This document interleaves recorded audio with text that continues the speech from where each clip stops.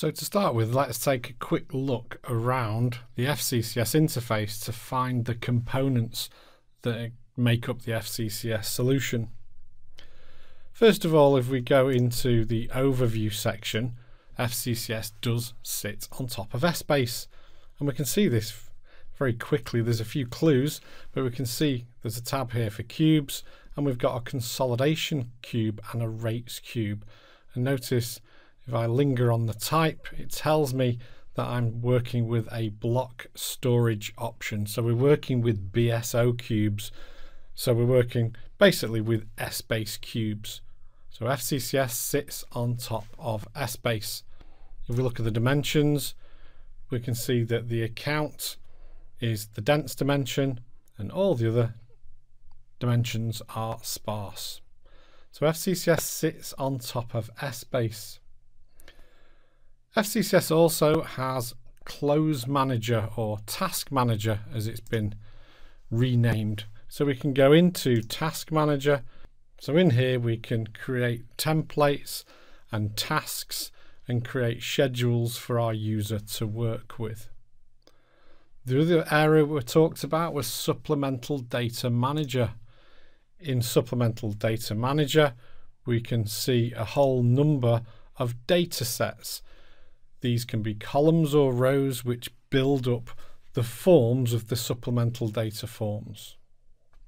We've also got data management or FDMEE Lite as we referred to it. So from our navigator menu, we can go to data management and that'll open in a separate window.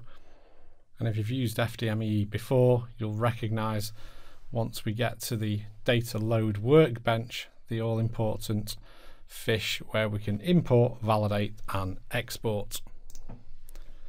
So at the data load workbench we can set the point of view and we can load our data via import, gets validated and then we can export it into FCCS.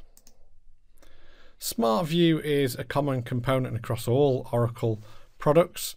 Uh, if you haven't got SmartView installed, that's something you'll need to do rather quickly.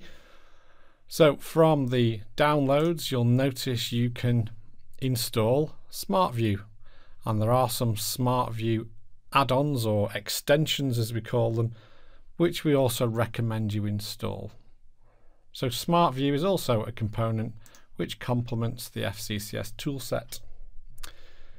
In FCCS, we have a whole number of predefined dashboards complementing the close overview and the compliance overview and the financial dashboards can all be customized.